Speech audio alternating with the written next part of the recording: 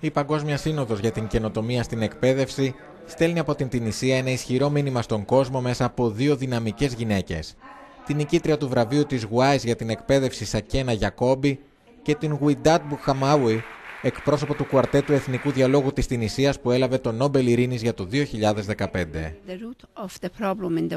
Η ρίζα του προβλήματος στον κόσμο είναι η έλλειψη εκπαίδευσης. Στο Αφγανιστάν έχουμε πολλά ζητήματα και είμαστε σε μια κατάσταση σύγκρουσης. Είχαμε πόλεμο για 35 χρόνια. Νομίζω ότι η εκπαίδευση παίζει πολύ σημαντικό ρόλο. Αυτό το διάρκεια μόλις μία ημέρας φόρουμ σκοπεύει να εμπνεύσει την αλλαγή σε μια χώρα που μνημονευόταν για την επιτυχία της Αραβικής Άνοιξης αλλά η οποία έχει επίσης αντιμετωπίσει σοβαρές τρομοκρατικές επιθέσεις το τελευταίο διάστημα. Εμπειρογνώμονες από όλον τον κόσμο συγκεντρώθηκαν εδώ για να αναζητήσουν λύσεις. Νομίζω ότι η κοινωνία έχει καθοριστικό ρόλο να παίξει. Πάντα έχει όταν μιλάμε για τους δεσμούς ανάμεσα στην εκπαίδευση και την ειρήνη.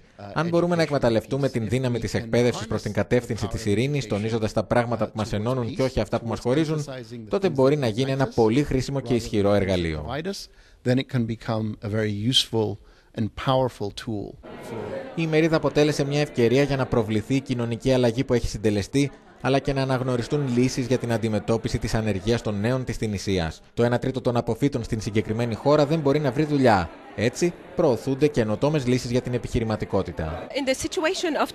Για την περίπτωση της Τινησίας σήμερα, μιλάμε για οικονομική ανάπτυξη, δημιουργία θέσεων εργασίας, δημιουργία νέων οικονομιών. Η επιχειρηματικότητα ποτέ δεν ήταν τόσο σημαντική όσο είναι τώρα. Η απεσταλμένη μας Μάχα Μπαραντά μεταδίδει. Αυτός ο διάλογος έφερε πολλές καινοτόμε ιδέε διδασκαλίας και εκπαιδευτικές προτεραιότητες. Ποιες από αυτές ταιριάζουν στην Τινησία και τι είδους αποτελέσματα θα φέρουν είναι κάτι που θα εξερευνηθεί επί τόπου.